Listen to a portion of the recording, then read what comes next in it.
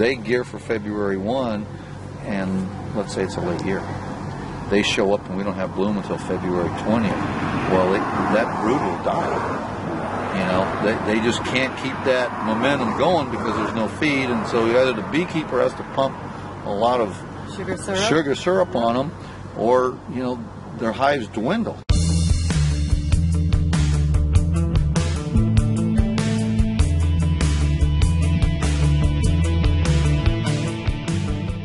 I've cover cropped something for the last 25, 30 years.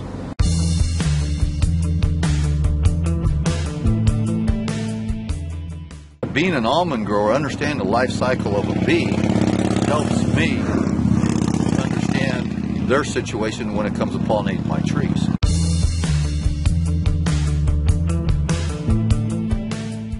I think the less they move these bees, the better. So that's why, like my beekeepers have loved the fact that they can just leave the bees here. And I, I like it. I like the colors. I like the flowers. And understanding how that life cycle of that hive has to build brood and And then feed. and then feed that brood, you know, and it takes pollen to feed the brood. It doesn't take syrup.